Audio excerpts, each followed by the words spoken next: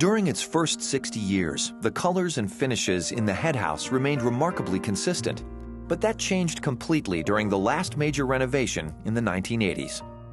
It's my understanding that they painted it to look like faux stone. And so for years and years and years, many of us have just only seen it um, with this kind of very dark, muted tones.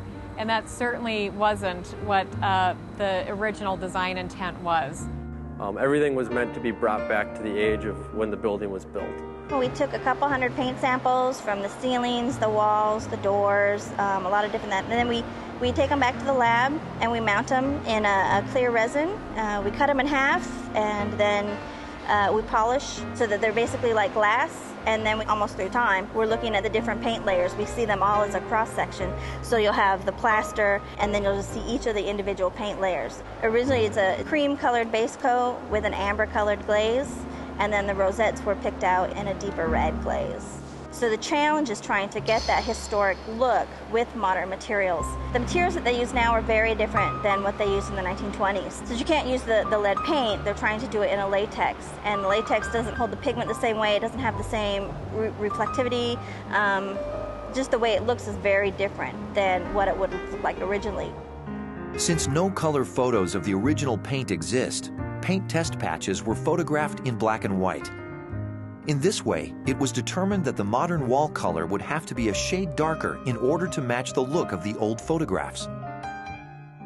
It's simple things like that that kind of seem a little far-fetched that you'd pick colors off a black and white photo, but that's what happens. I'm very excited about being able to go into the space and to be able to say this is how someone experienced it on opening day in 1920.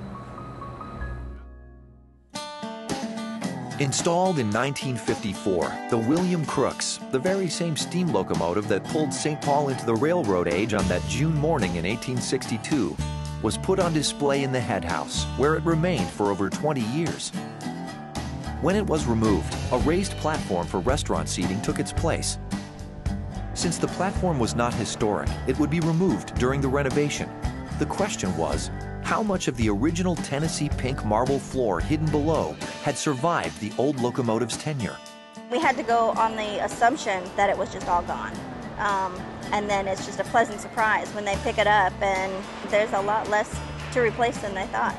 Uh, about 800 square feet that was missing. And then almost 500 pavers throughout the floor itself that we had to take out where they had drilled in to put in, you know, elevated areas and stuff.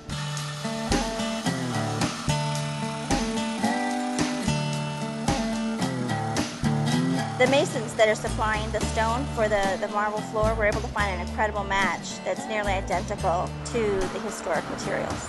And the beauty of it is such a staggered mess of different colors and shades and everything, you know what I mean, as they put it in. So we watched as we got the material out that we mixed and blended the material as best we could to match. You'll notice on the walls and the columns, those are kind of more of a solid pink but the floors are, are almost a mosaic of the, of the colors, which makes it a little more forgiving to not have a perfect match on every floor tile. And if you do, it looks like you tried too hard.